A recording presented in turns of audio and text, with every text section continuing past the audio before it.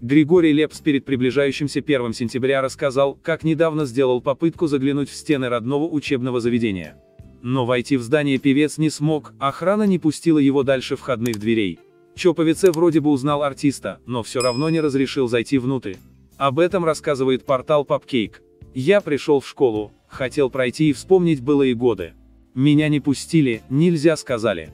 Думаю, что меня узнали, но все равно не пустили, пожаловался музыкант. Впрочем, Лепс отнесся к строгим мерам с пониманием, охрана должна заботиться о безопасности детей и соблюдать инструкции.